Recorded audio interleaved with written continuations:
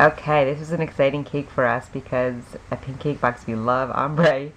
And we did a really beautiful color, um, a, a, deep raspberry pink that goes up to a beautiful blush pink.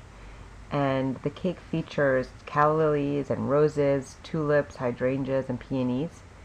And we did this for Jasna Polana' bridal event. And you can see all of the pipe pearls even graduate with the ombre color.